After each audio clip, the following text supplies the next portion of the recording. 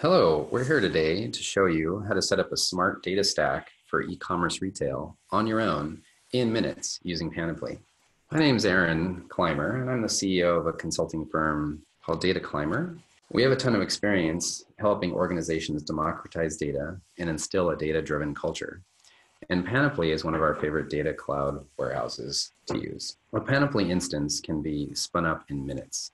And with over 150 connectors, it's easy to get all your data centralized and ready for analysis. Let me show you just how easy it is. Today, I'll walk you through the process for an e-commerce retailer. As a retailer, you often will want to analyze sales, purchase orders, web traffic, marketing campaigns, sales goals, etc. Very first thing you'll want to do is spin up an instance of the Panoply data warehouse and connect your data sources. To get started, you can create a free trial of Panoply, which gives you 21 days of unlimited access. I already have an instance going here. So I will dive in and show you uh, the very first step, which is to create some data sources. So I'm going to click on the data sources tab on the left-hand side once I'm in Panoply. And here I'm going to connect to my e-commerce data source, which in this case is Shopify. So I can simply search for the source, select it. And for Shopify, I just have to enter my shop name and connect. Now I'm connected to my shop, and the only other thing I have to do is inform Panoply which objects I'd like to bring in to my data warehouse. In this case, I'd like all of them. Uh, just have to click the collect button, and voila, the data has begun to stream into the Panoply data warehouse. While we wait for that, another common type of data that a retailer might want to bring into their analytics system is goals data so they can compare actuals to goal and adjust strategy as necessary. These kinds of goals are often maintained in spreadsheets. Luckily, Panoply has an easy connector to Google that we can use to ingest all sorts of spreadsheet data, whether it's in Excel, CSV, or Google Sheets directly.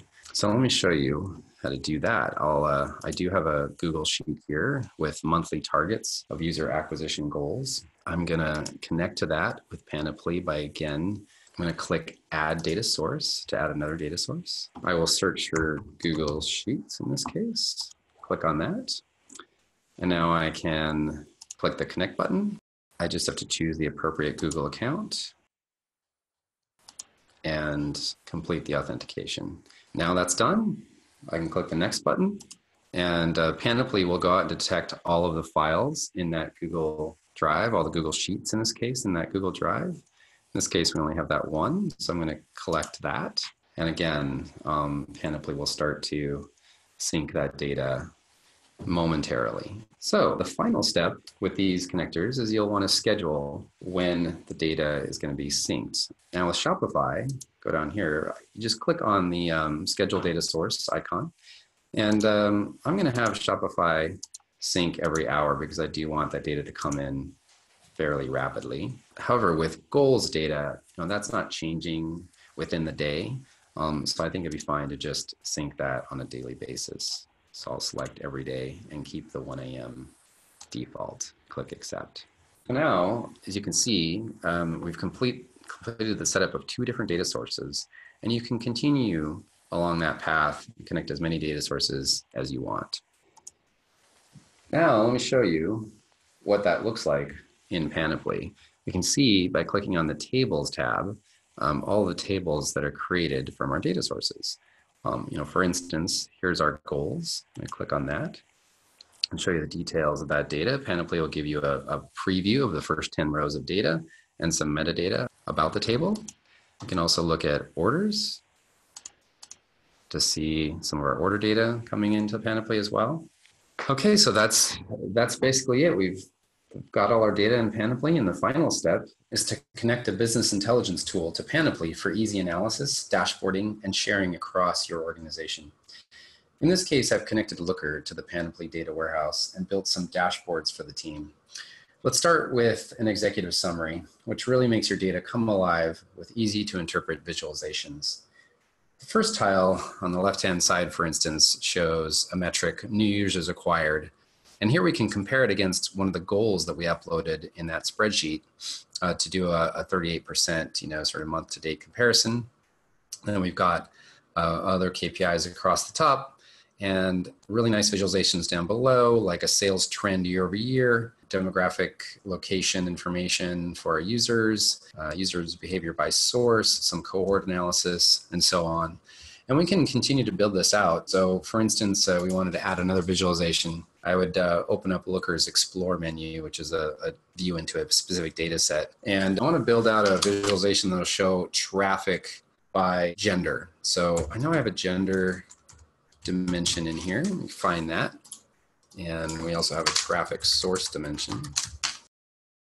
I'm going to pivot on that because I want to create a matrix solution and then I'm going to get a metric of item count. So we have an order item count metric here. Click run. That'll give me the data I want. Looker defaults to a bar chart, but uh, I want to do some donut multiples to easier easily show this. There we go. I think I'll choose a different color palette. It's a little more pleasing. And there we have it. I've got a new visualization. Now all I need to do is add to the dashboard. There's a save to dashboard option on the upper right hand corner in the menu. Click on the dashboard I want to save it to. And voila. Looker will then actually give us a link back to the dashboard. I already have it open here. I'm just going to refresh. And we'll see the new visualization down below.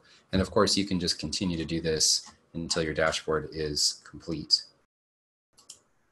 click edit there to be able to resize and move my tile. Here it is at the bottom. I don't want it at the bottom. I want it up here a little higher. And I want to resize it and make it the same size as these other tiles. So I can drag this there. And then I'm going to edit this and uh, create a new title because that title was generic. We'll call it order items by traffic source. save that, and I've got a brand new tile on my dashboard that gives us the gender breakdown by source. And finally, an obvious example of a dashboard you'd want to build is a customer dashboard. It gives you all the information about an individual customer, showing overall user information, lifetime spend, favorite categories purchased, and so on. And on top of all this, these dashboards will run 10 times faster thanks to Panoply's automated query optimization engine. So now you have all your data centralized in one place that allows you to do easy analytics and create actionable insights for your retail business. I hope you found this tutorial helpful in understanding how easy it is to set up a comprehensive analytics stack with Panoply in no time. You can start your free 21 day trial by signing up on www.panoply.io you can also sign up for a customized demo on their website. And of course, you can reach out to me, Aaron, at aaron at dataclymer.com. Thank you.